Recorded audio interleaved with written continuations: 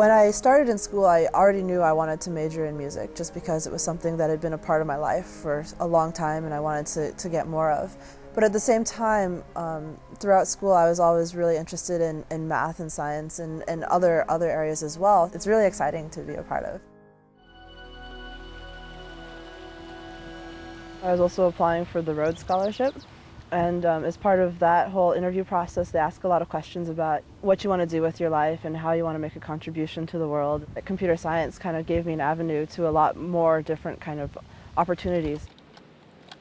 My name is Erin. I'm a software engineer at Google. I've been here for about a year, and previous to that, I um, was a computer science and music major at the University of Washington in Seattle um, followed by a brief stint at Indiana University, and then I came here. So that's basically the story of my life so far. So the interesting thing is, the first two computer science courses I took, I hated.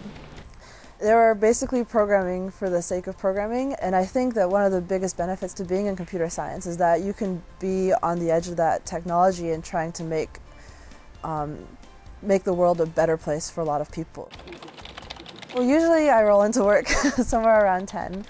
Um, and I, you know, get caught up with email and just kind of check to check my calendar to see what what the day is going to hold. A lot of times there's uh, tech talks that happen about technical talks about um, from both within the company and from without outside of the company, just about you know exciting things that are happening in the field and how we can use them and and just kind of to keep up to date with what's going on. A lot of what we do in, in the industry is, is a lot of teamwork and, and working together and working with people outside of outside of software engineering as well.